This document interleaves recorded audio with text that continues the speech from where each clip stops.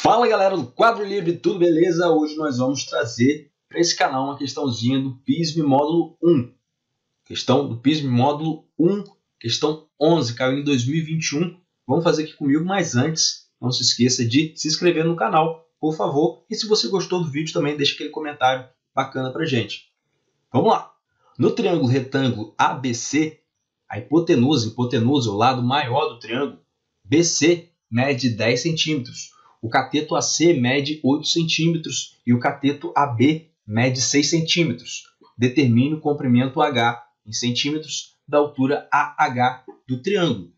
Esse triângulo é um triângulo retângulo. E como que é mesmo um triângulo retângulo, professor? Um triângulo retângulo é apenas um triângulo que tem 90 graus. Se o triângulo ele tem um ângulo de 90 graus, ele é um triângulo retângulo. Então, vamos desenhar um triângulo retângulo, vamos deixar um triângulo retângulo aqui nessa questão para a gente se organizar melhor? Faça isso. Se aparecer uma questão sem desenho do triângulo retângulo, desenhe um para se organizar melhor na questão. E para fazer essa questão, você também precisa saber das relações métricas no triângulo retângulo. Então, já deixei o slide aqui pronto.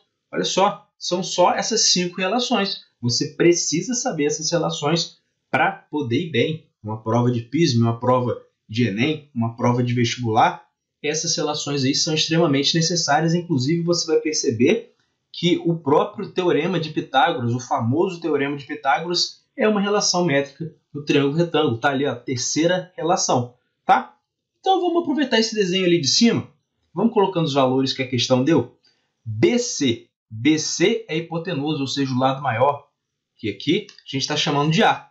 BC vai ser igual a 10 centímetros. Certo? AC mede 8 centímetros. Tudo isso aqui a própria questão está dando. AC, 8 centímetros. O cateto AB mede 6 centímetros. Então, AB mede 6 centímetros. E qual dessas relações aqui a gente vai utilizar, professor?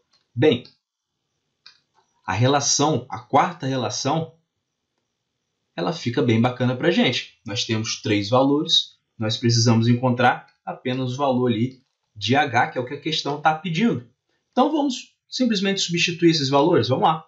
Então a relação é a vezes h igual a b vezes c. Já tem o valor de a. a vale 10 centímetros. Então coloquei aqui. h eu quero descobrir. b já sei que vale 8, 8 centímetros. C vale 6 centímetros.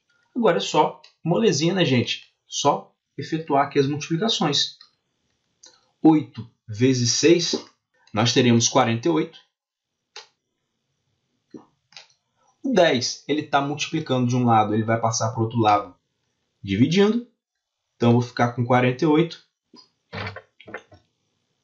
dividido por 10 ou simplesmente 4,8, que é o meu valor de H. Lógico, nós vamos marcar letra A. Show? Então é isso, pessoal. Para mais conteúdo como esse, por favor, não se esqueça de se inscrever. Valeu, tchau, tchau.